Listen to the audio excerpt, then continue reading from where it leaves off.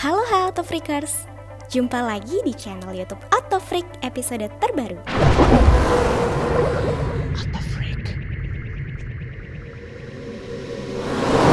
Pada abad 20 ini, punya mobil pribadi adalah impian banyak orang, terutama bagi kaum pria nih.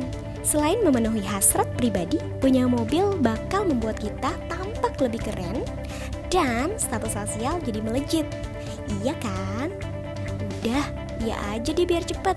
Nah, saat banyak orang yang buat banget pengen punya mobil pribadi, yang akhirnya cuma bisa menghayal, ternyata ada loh yang malah membuang-buang mobilnya. Hmm, anak sultan mah bebas. Bahkan banyak mobil klasik hingga mobil sport berjajar rapi, tapi dibiarkan begitu saja sampai kondisinya mengenaskan. Hmm, kalau di Indonesia sih udah diburu kolektor itu. Nah, episode kali ini Auto Freak bakal pamerin 5 fakta mobil mewah yang dibiarkan bagai sampah. Seperti kamu yang telah dicampakkan kekasih. Tunggu dulu, sebelum simak infonya, jangan lupa klik subscribe dan like juga ya. Setuju? Cus!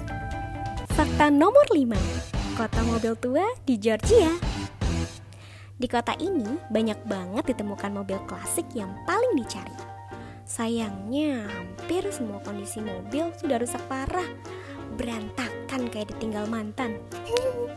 Usut punya usut, dulunya di kota ini memang berdiri sebuah showroom mobil, tapi entah kenapa malah ditinggalkan begitu saja loh. Padahal banyak mobil klasik yang bisa kita temukan, misalnya Mopars, Cadillac tipe klasik, dan masih banyak lagi. Jadi siapa nih yang mau coba bawa pulang? Coba aja kalau bisa. Fakta nomor 4 Kuburan mobil baru di Baltimore, Amerika Serikat Setiap tahun banyak mobil-mobil baru yang dirilis Walaupun nggak semuanya laku kan Pertanyaannya, ke mana perginya mobil baru yang nggak berpemilik itu? Hmm, kalau Otofreakers mampir ke sebuah dermaga di Baltimore, Amerika Serikat, pasti kamu bakal menemukan jawabannya. Ya iyalah, di sinilah kuburan mobil-mobil lawas tapi baru yang nggak laku. Jangan salah, kondisinya rata-rata masih mulus, baik-baik aja kayak zaman PDKT dulu. Sayang, mobil-mobil itu dibiarkan dalam kondisi tanpa pelindung dan mulai rusak dengan sendirinya seperti hubungan kamu dengan si dia. Ngaku deh. Fakta nomor 3, dealer mobil usang di Portugal. Seorang warga New York yang membeli tanah berisi gudang di pedalaman Portugal terkejut karena menemukan mobil-mobil klasik dan mewah yang berjajar apik di gudang rumahnya. Wow, mimpi apa tuh orang? Enak banget hidupnya. Kabarnya, mobil-mobil antik ini berjumlah 180 unit yang di antaranya adalah Volvo, BMW, Aston Martin, Mercedes, dan masih banyak lagi. Wah wah, rezeki nomplok tuh. Menurut hasil penyelidikan, ternyata mobil-mobil tua itu adalah milik pasangan suami istri era 1970 sampai 1980 yang merupakan pemilik dealer mobil mewah.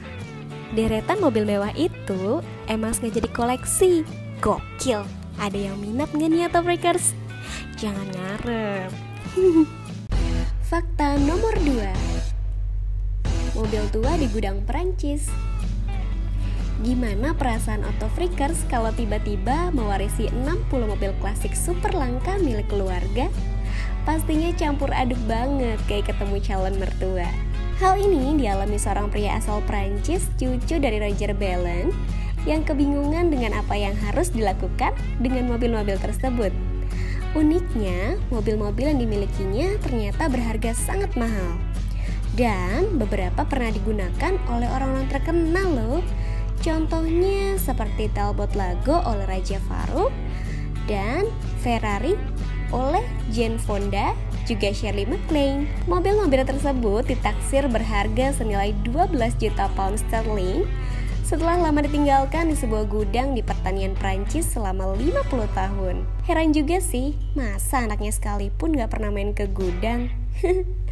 Fakta nomor satu, kuburan mobil mewah di Dubai. Bicara soal Dubai, siapa sih yang gak tahu kegilaan orang-orang Dubai? Salah satunya, mereka suka banget mengoleksi mobil-mobil sport mahal. Sayangnya, entah karena kebanyakan uang, bosan, atau karena urusan hukum tertentu, banyak orang Dubai membuang mobil mereka begitu saja. Ya ampun, bisa kali bagi-bagi ya kan?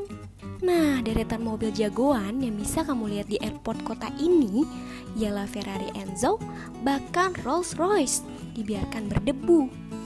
Wah, apa kabar kita di sini yang ngiler banget sama mobil itu? Ya ya, pada akhirnya kita cuma bisa geleng-geleng kepala. Tapi jangan sedih, nggak punya mobil bukan akhir dari hidupmu kok. Makanya kalau mau cari perhatian si dia, kuncinya harus tetap usaha, tapi jangan saling sikut ya. So, Auto Freakers, selesai deh episode mobil-mobil mewah yang dibiarkan bagai sampah.